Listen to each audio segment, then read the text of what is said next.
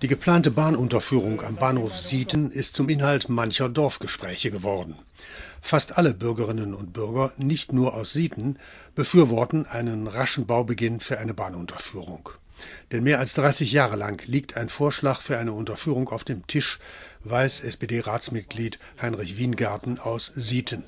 Ja, ja gerade äh, die Einwohnerinnen und Einwohner äh, von Sieten, äh, die hinter der Bahn leben, für die ist es natürlich ein unerträglicher Zustand äh, seit Jahrzehnten, äh, dass man hier äh, viel Lebenszeit, ich nenne es mal so, vor geschlossenen Schranken verbringt. Und das verärgert natürlich die Menschen. Dafür haben wir auch Verständnis und da besteht auf jeden Fall Handlungsbedarf. Ne? Problem, wenn ich morgens zur Arbeit fahre, dass ich wirklich manchmal 19, 20 Minuten da stehe, dass da vier, fünf Züge durchfahren, bevor die Schranken hochgehen. Das ist, äh, ne? Wenn die nach jedem Dingen hochgehen würden, dann würde ich nur sagen, okay, aber so. Und wieder schließt sich die Schranke. Oftmals für mehrere Züge hintereinander. Warten ist angesagt. Und das oft bis zu 20 Minuten an einem Stück. Neben der ersten Planung aus dem Jahre 1988 gibt es mittlerweile weitere Vorschläge für eine Unterführung von der Initiative Haltern Fahrradfreundlich. Auf den ersten Blick erscheinen diese Vorschläge praktikabel, doch entsprechen sie auch den Anforderungen. Also äh, ich bewerte sie äh, und äh, darüber sind auch im politischen Raum schon Gespräche geführt worden, sehr kritisch. diese Vorschläge des Herrn Pollerberg sind sehr Fahrrad- und Fußgängerfreundlich, aber den Autoverkehr, äh, und der ist auch wichtig hier, äh, den lassen Sie äh, weitgehend außen vor. Äh, es ist also so, äh, dass über die Durchfahrthöhe keinerlei Aussagen gemacht werden.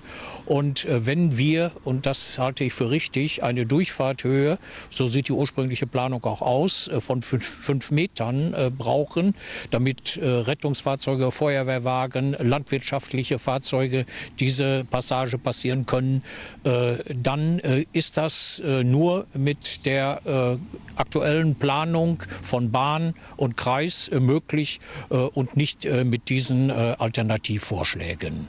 Es müsste dann ein völlig äh, neues äh, Planfeststellungsverfahren eingeleitet werden. Und äh, das könnte unter Umständen mehrere Jahre in Anspruch nehmen. Es muss völlig neu geplant werden.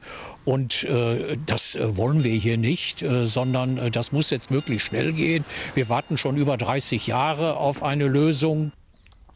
Die Meinungen zu den vorliegenden Plänen sind geteilt. Fest steht, dass die meisten Anwohner wegen einer geänderten Planung keine weiteren Wartezeiten auf eine Unterführung in Kauf nehmen wollen. Nein, ich wohne auf dieser Seite. Also mich betrifft es selten, aber es ist natürlich immer jetzt gerade zu den Zeiten, wo ich mit dem 9-Euro-Ticket unterwegs bin, ist das kritisch. Wenn ich abends nach Hause komme, ich muss hier also immer dann warten an, der, an den Schranken, dass ich rübergehen kann und so weiter. Äh, früher bin ich öfter mit dem Zug unterwegs gewesen, da war das immer ein Problem für mich, ja. Also es wäre eine Erleichterung, wenn wir eine Unterführung hier hätten, keine Frage ich finde, äh, solide Lösung, die für alle betrifft, die alle, allen hilft. Ne? Also das wäre schön, wenn, wenn da hier nicht da alles zerbaut würde. Und, und wenn das eben machbar ist, sollte man das schon machen. Aber bei der Bundesbahn ist das ja auch heutzutage so, das wird wahrscheinlich nicht machbar sein. Du, die sind jetzt schon 50 Jahre und noch länger am Plan, da kommt es auf die fünf Jahre auch nicht drauf an. Dann sollen sie was Vernünftiges machen habe mir gedacht, so der letzte Vorschlag, der jetzt gewesen ist, für die Fahrradfahrer und Fußgänger fand ich ganz toll. Es scheint jetzt allmählich ernst zu werden. Ich nenne es mal so. Äh, vor einigen Wochen ist die ganz konkrete Planung äh, des Kreises und der Bahn im Stadtentwicklungsausschuss vorgestellt worden. Und wir hoffen natürlich, dass so schnell wie möglich äh, auch eine Umsetzung stattfindet. Ich möchte mal vorsichtig prognostizieren, äh, dass es im nächsten Jahr äh, losgehen kann. Rund zwei Jahre werden die Arbeiten an der neuen Bahnunterführung voraussichtlich dauern. Nach dem Beschluss im Stadtentwicklungsausschuss für die Planung der Bahn gehen jetzt viele Bürgerinnen und Bürger davon aus, dass die Bauarbeiten im kommenden Jahr beginnen.